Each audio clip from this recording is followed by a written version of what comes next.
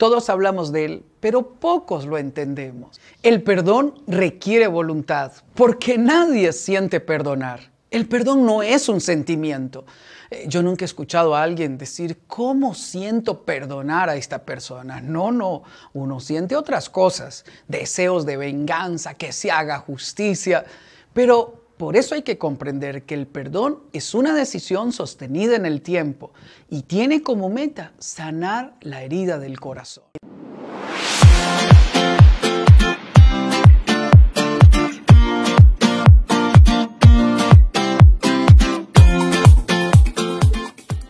Hola, soy Sixto Porras de Enfoque a la Familia y quiero darle la bienvenida al curso El lenguaje del perdón. El capítulo de hoy se llama ¿Qué es perdonar? ¿En qué consiste el perdón? El perdón es igual que el amor. Muchos creen que saben, todos hablamos de él, pero pocos lo entendemos. El perdón requiere voluntad, porque nadie siente perdonar. El perdón no es un sentimiento. Eh, yo nunca he escuchado a alguien decir, ¿cómo siento perdonar a esta persona? No, no, uno siente otras cosas, deseos de venganza, que se haga justicia. Pero por eso hay que comprender que el perdón es una decisión sostenida en el tiempo y tiene como meta sanar la herida del corazón. No perdonamos porque creemos que nuestro cónyuge no tendrá el castigo que se merece. ¿Sabe por qué no perdonamos? Porque utilizamos el rencor, el odio y el dolor como un instrumento para hacer justicia. Por lo tanto, el perdón no es justo. Usted no perdona porque el otro pidió perdón, porque se arrepintió, porque cambió. Usted perdona porque necesita sacar el dolor que lleva por dentro. Por lo tanto, el perdón es una experiencia personal, íntima. Usted tiene que vivirlo en lo íntimo. Perdonar es romper la lista de los pendientes. No me debes nada. Punto, se rompe. Y romper significa que nunca más lo vuelvo a utilizar como un instrumento para recordar lo que ayer o hace 10 años me hiciste. No, cuando yo he perdonado, se sepultó, se tiró al fondo del mar, no tiene valor, no existe. Por eso el perdón es una experiencia que nos permite vivir la libertad a plenitud. Perdonar es cambiar nuestros sentimientos negativos por palabras de bendición. Aquí debo confesarle algo. Es muy difícil porque sus sentimientos están heridos, sus sentimientos están lastimados. Usted quiere que se haga justicia, su deseo es deseo de venganza. Aquí hay que contener estos deseos. Cada vez que venga el pensamiento que produce dolor, usted va a transformarlo en palabras de bendición. Por eso el perdón es un ejercicio de la voluntad más que un sentimiento. Usted no querrá que le vaya bien si le hizo daño.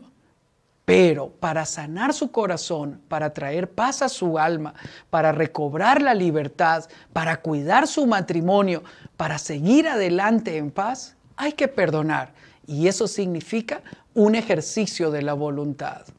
Me equivoco si pienso que el perdón lo doy cuando la otra persona lo merezca. No, no tengo que esperar que cambie, que me pida perdón.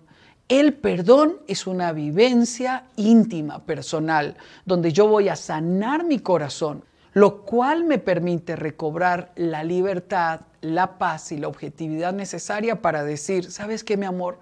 Eso mirió, pero está perdonado. No me debes nada. Y esto me permite a mí encontrarme conmigo mismo, mantener el equilibrio, recobrar la dignidad y recobrar la ilusión. El objetivo del perdón es eliminar el dolor que llevo por dentro. No lo olvide. El objetivo del perdón no es hacer justicia, no es vengarme, no es que el otro pague el daño que me hizo. Si usted lo vive de esa manera, no va a vivir el perdón. Usted va a vivir amargado, usted va a vivir en conflicto, nunca tendrá paz, no va a recobrar la capacidad de amar.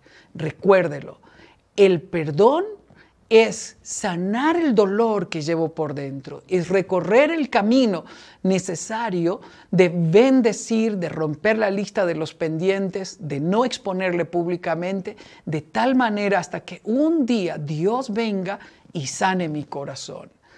Hay un mito que hay que trabajar en cuanto al perdón. El perdón no significa olvidar. Dios dijo que Él tomó nuestros pecados, nuestros errores, los tira al fondo del mar y olvida. ¿Eso significa que Dios tiene mala memoria? No, no significa que tiene mala memoria. Lo que significa es quedó sin efecto.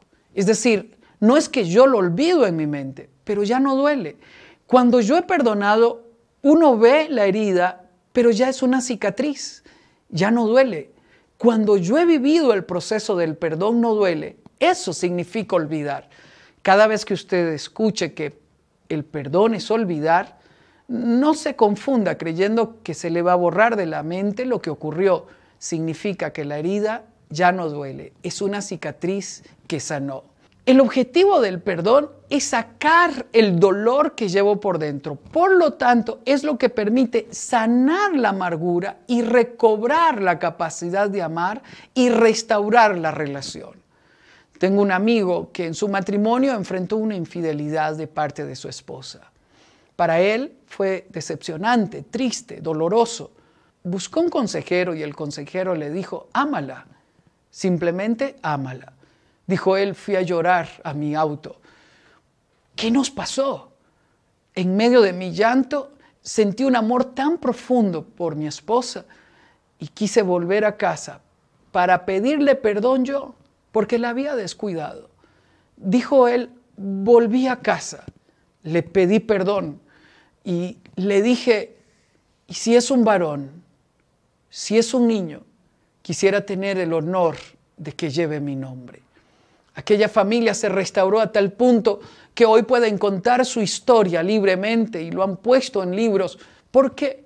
Porque el amor que surge luego que hemos perdonado es tan profundo que sana cualquier herida, por más grave que haya sido. Sin perdón, solo vemos errores, sin perdón, los aspectos buenos dejan de apreciarse y solo vemos lo malo que nuestro cónyuge hace. Si usted solamente está viendo lo malo que su cónyuge hace, tiene que vivir el proceso del perdón. No es que su cónyuge ha cambiado, es que su vista está nublada. Cuando perdonamos con sinceridad, dejamos de exponer el error a otra persona.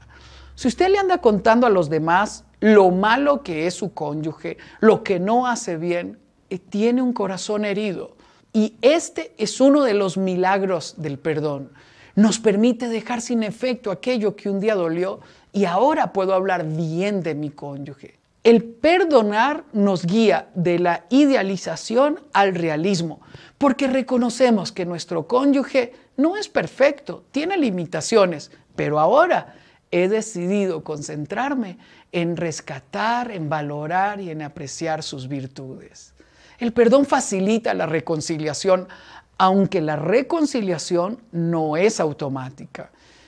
El perdón es una experiencia personal, es íntima. Yo tengo que vivirlo en mi intimidad. Yo tengo que perdonar ahí en mi corazón y puedo vivirlo en cualquier momento. Pero la reconciliación requiere que yo perdone y que la otra persona reconozca su error y que los dos estemos dispuestos a reconciliar nuestra relación. Hay situaciones en donde la reconciliación no debe darse. No recomiendo una reconciliación cuando hay violencia, cuando hay celos enfermizos, cuando nos herimos entre nosotros.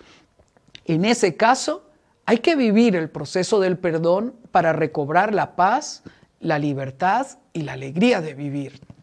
Pero no recomendaría una reconciliación. En estos casos es necesario que ustedes acudan a un experto que les ayude a recobrar la confianza, pero sobre todo a recobrar el equilibrio emocional que cada uno necesita. ¿Qué es perdonar? Usted tiene que vivirlo es una experiencia personal, íntima, no es una emoción, es una decisión sostenida en el tiempo que tiene como beneficio sanar la herida y un día hablará del tema sin que duela. Déjeme decirle algo más.